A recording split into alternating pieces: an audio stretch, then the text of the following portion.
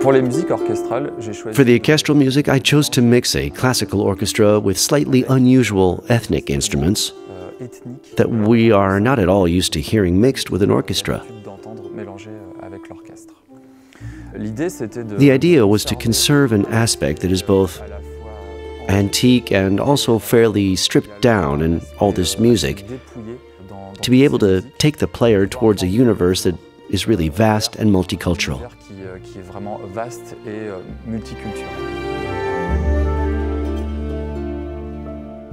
Une des techniques de One of the composition techniques that I adopted for this soundtrack de créer des, des is to create small loops called ostinato. c'est quelques quelques mesures These are a few measures that loop with an instrument. Euh, So, for example, I like to do it with the harp. Ensuite, on va rajouter and then I'll add percussion. We will add themes with solo instruments and an orchestral arrangement. In the production of this music, there are multiple steps. So, once we've recorded the loops and the elements with acoustic instruments, what's interesting is to be able to arrange with virtual instruments. Here we use synthesizers, keyboards to add all the layers of the orchestra.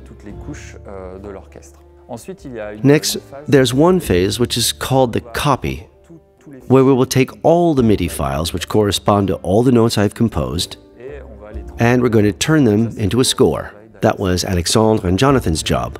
It was to provide the orchestra with a score with all the details, all the nuances, and all the subtleties that we're going to give to the musicians. La dernière étape, The last step is to record it all. Donc c'est voilà, c'est It's obviously the most exciting step. la plus excitante pour euh, l'orchestre. Nous sommes allés. euh, We went to. Bratislava to record the Slovak National Symphony Orchestra. Here we are in the Bratislava Radio's Great Hall. Euh, We recorded the orchestra sessions, and we are getting ready for tomorrow to record the choirs. euh, euh, on a mis en We set up stands for 24 singers. Et euh, donc voilà, on We have a beautiful hall with a very large organ, too.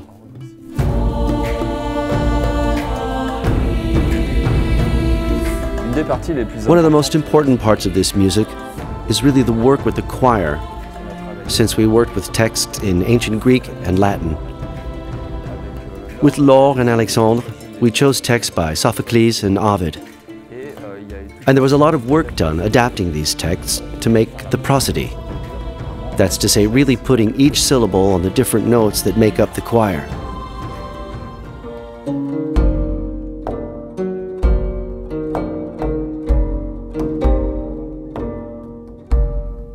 I also chose to evoke in the orchestral music different periods of history. tout d'abord, il y a, First, there is antiquity, with the use of Greek zithers like the kitara and the Greek lyra, which are really recreations of instruments from ancient times. euh, d'instruments de l'époque antique. Euh, il y a euh, There's also a medieval euh, side through the use of Latin texts. on utilise, voilà, We use the medieval psaltery, as well as the dulcimer, and finally, the Baroque and Renaissance period with the viola da gamba that really have a major role in these compositions. un, un rôle majeur euh, dans ces compositions. Et donc une fois qu'on avait So once we had all these recordings, which represents hundreds of tracks, they have to be mixed together. ça c'est tout le travail. So that's all the work we've done with Fabien in post It's at this moment that we will try to bring everything out on entend le- so that we can hear as best as possible every detail the solo instruments, all the little subtleties of the music. au moment du mixage, During the mixing, we try to magnify them so that we can hear as many details as possible.